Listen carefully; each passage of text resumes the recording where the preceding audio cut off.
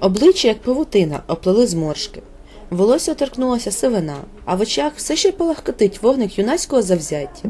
В душі їй завжди 18. Нещодавно Віра Іванова відзначила своє 90-річчя. А що стоїть за цією датою? Що довелося пережити цій жінці? Скільки невипадкових зустрічей та доленосних подій випало на її життєвий шлях? Розмова з завжди усміхненою та привітною Вірою Степанівною розпочалася з гортання старого фотоальбому. Ця чорно-біла фотокартка з воєнних років, ніби висмикнута з мережево часу та болю. У 16 Вірі Іванові довелося дізнатися, що таке насилля, численні смерті. Вона є живим свідком подій Великої вітчизняної війни, від спогадів про яку у неї холоне серце. Пам'ятає Віра Степанівна і про те, як опинилася на волосинці від смерті. Тоді був виданий наказ всіх арештувати та розстріляти. И назначили день, уже машины подогнали. И нас э, э, это, э, в это, ну, у здании в этом в комендатуре держали в кабинете.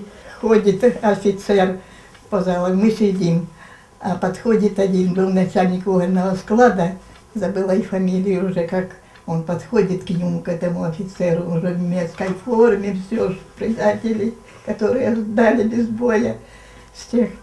И он говорит, давай мы этих не будем расстреливать сегодня, у нас хватит кого стрелять сегодня, а этих на позже оставим.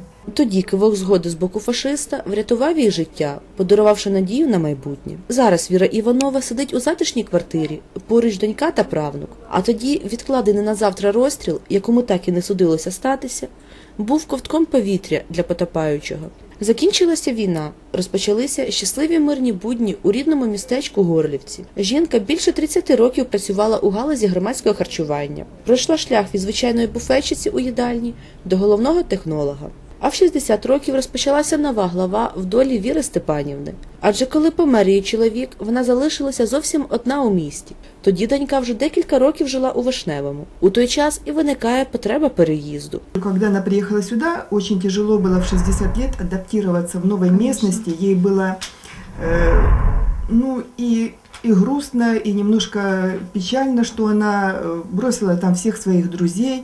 Вот, и здесь она одна. Але завжди життєрадісна та комунікабельна Віра Степанівна дуже швидко перезнайомилася майже з цілим містом та обзавелася новими друзями. А що вже зовсім не залишилося часу на сумні думки, поринула у вир громадської діяльності. В 90-ті роки вона стала депутатом Вишневого.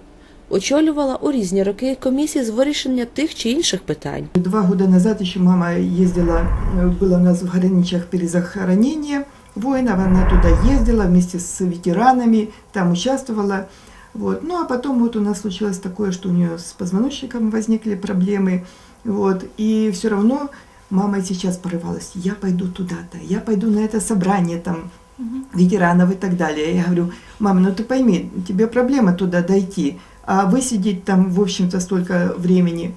Ну, я не знаю, ну, она неравнодушна, у нее море знакомых было. Донька Віри Іванової Тетяна Замкова розповідає, що її матері після років бурхливої діяльності важко буває у чотирьох стінах, адже в душі вона завжди молода, і всидіти на одному місці складно. Тож Віра Степанівна в свої 90 років не сидить без діла. Піклування про онуків, правнука, слідкування за останніми новинами та декламування улюблених віршів.